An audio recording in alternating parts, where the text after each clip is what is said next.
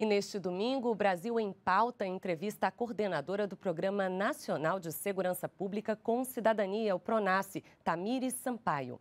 O programa vai ao ar aqui na TV Brasil às 10h30 da noite.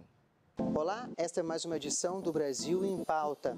Advogada e mestre em Direito Político e Econômico, Tamires Sampaio é militante do movimento negro e durante o governo de transição atuou no Núcleo de Segurança Pública aqui em Brasília.